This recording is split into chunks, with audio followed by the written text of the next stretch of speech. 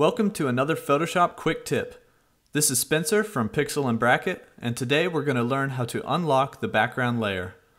Photoshop files can get pretty messy with a lot of layers and elements on your canvas.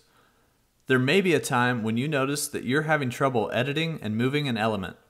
In the example here, we can't move the gray color due to a locked background layer. To fix this, all we need to do is click on the lock icon to the right of the layer name. This will unlock the background layer and allow us to move it. Notice that it also renames the layer for us.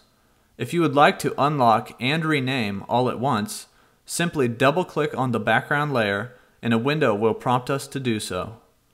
Thanks for listening. If this was helpful to you, like and subscribe to receive more tips and tutorials.